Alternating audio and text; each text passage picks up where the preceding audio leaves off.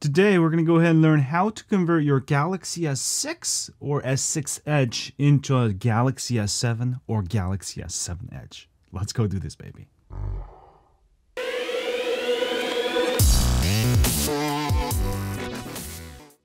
Alright, let me go ahead and show you my Galaxy S6 here.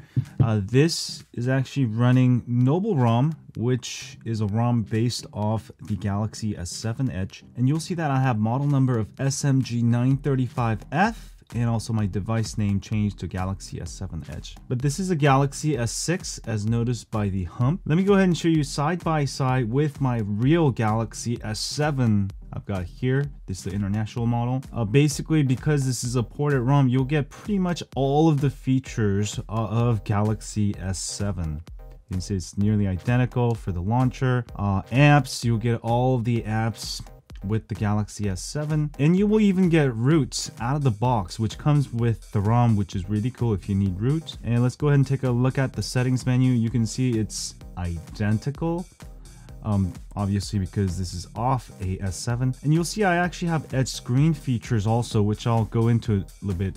Um, this is actually based off a Galaxy S7 Edge. So not only do you get S7 features you also get all the S7 Edge features right there on your Galaxy S6 or S6 Edge. That is awesome. I mean, software-wise, it means that it makes your Galaxy S6 even better than the Galaxy S7 since you get the S7 Edge features along with root. And if you have a US model, you can't even root and install ROMs like this, which makes the Galaxy S6 an awesome device. Now, I forgot to let you know which phones, which models are supported uh, basically, all the Galaxy S6 or S6 Edge models ending in model number F, such as the SMG 930F or 935F, uh, or ending in I, 930i or 935i, and all the Korean models SK and L.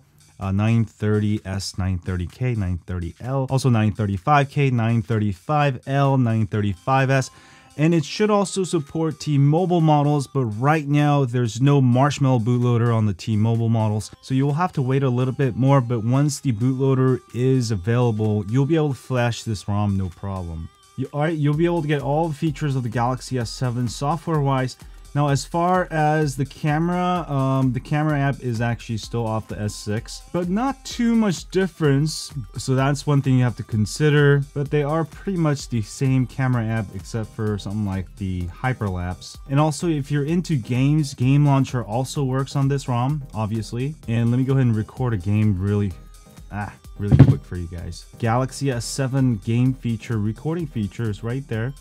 And even the front camera works.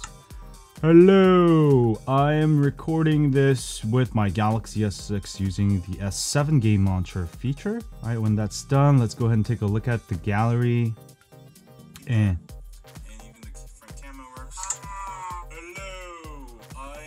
and boom shakalaka, we got it working. Alright, AnTuTu scores are pretty good also. This is the last score I've got. It's not going to improve or be different from the regular S6 scores on Marshmallow. 63,759, pretty decent. Speed is really good. This ROM is actually really fast. Another thing I want to show you, um, you can also get uh, S7 Edge features.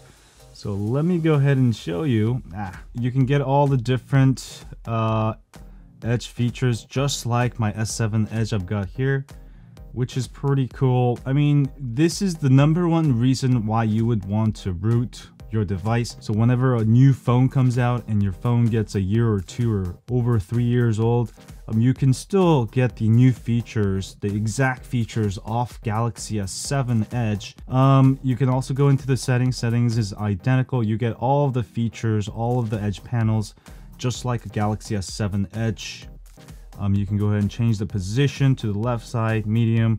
I mean, even though this has no edge screens. So in that sense, my S6 right now I'm holding here is better than the Galaxy S7, the official one, since I have these extra edge screen features.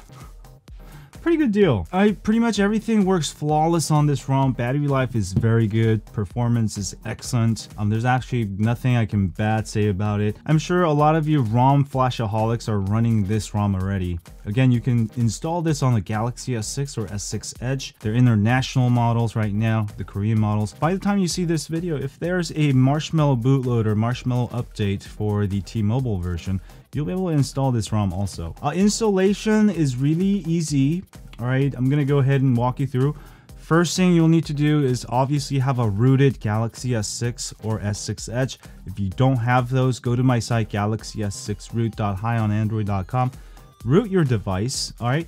And also, you'll need to have the latest Android 6.0.1 Marshmallow installed on your phone already, the official one. So go ahead and use Odin and stock firmware to update it. If you don't know how to do this, again, go to my site and there's instructions for unroot. And you'll just need to grab Marshmallow stock firmware install it with Odin, root it again, install TWRP Recovery, and then go ahead and follow this guide. If you don't know how to do any of this, um, just go to my site. I'll have all the step-by-step -step instructions. All right, once you have a rooted phone, once you have TWRP Recovery installed, once you have 6.0.1 bootloader installed, the bootloader installs when you install the Marshmallow stock firmware. Um, go ahead and power off your phone, download the Noble ROM, put it onto the internal storage before you do this, by the way um, you're gonna go ahead and hold down volume up, center home, and power.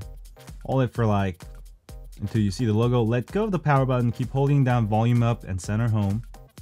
All right, and you will come to TWRP recovery. Um, the process is pretty simple. Just do a wipe, do a factory reset. I'm gonna, I'm not gonna do it right now because I just installed this ROM. I'm go to install um, go ahead and find the ROM, which is the Noble S7 Edge Odex blah blah dot zip. This is the same file for all the S6 or S6 Edge models. Um, go ahead and swipe to flash. That's pretty much it. Um, go ahead and reboot and you should have the new ROM installed, ready to go. Now you should be able to enjoy a Galaxy S6 on your Galaxy S7. Sorry, Galaxy S7 on your Galaxy S6 or a Galaxy S7 Edge on your Galaxy S6 Edge or S6. So if you absolutely don't need the new features of Galaxy S7, maybe the hardware features, you can go ahead and grab a S6 or S6 Edge for cheap, install this ROM, and you pretty much have a Galaxy S7 or S7 Edge. Anyway, have fun with this ROM. Don't forget to donate to the developer of this ROM. I'll have the link to donate link to his donate link in the description below. Have a great day, folks. Don't forget to hit the thumbs up. Follow me on Twitter, Facebook, Google+, Instagram, Periscope. And as always, stay on Android. Click here to subscribe.